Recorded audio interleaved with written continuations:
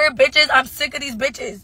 That bitch Jiggy, she can get it, bitch. You're not gonna sit here pretend like you're pregnant by my nigga, bitch. Blue ain't fucking with you, bitch. You're bottom of the barrel. The fuck are you talking about? The fuck?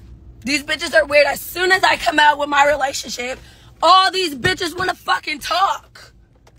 Bitch, you're not fucking pregnant. If you are, bitch, I'ma stalk you and that baby, bitch. I really do that. I'm crazy.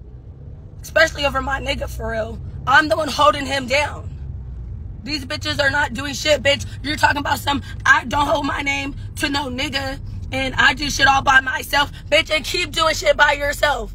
That's why you're doing shit by yourself. Cause we don't fuck with you, bitch. Blue don't fuck with you. That's why you're doing shit by yourself. Jiggy, what's good? You weird ass bitch.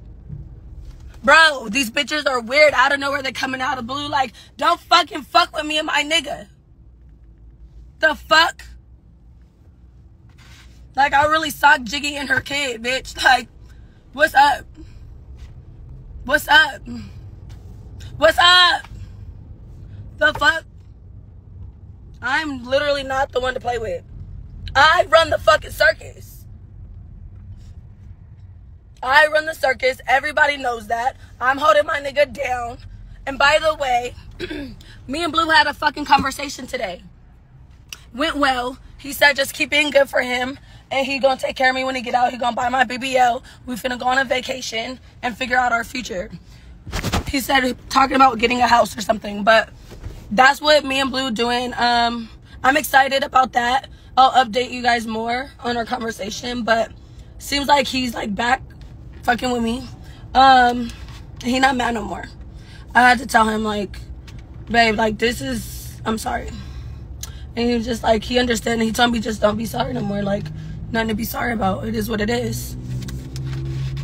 And he said he loved me and I'm not going nowhere. So my voice is gone right now, you guys. But any bitch trying to get in the way of me and Blue, I'm going to fuck them up. Bitch, the fuck? Nikki, she's a weirdo. So I don't know who the hell the girl Jiggy is, what she talking about, but she responded and said, "Girl, he called everybody LOL. Yo, I don't know what the hell her problem is or what's going on in her brain, but he do this to everybody. I don't know why she thinks she's so special.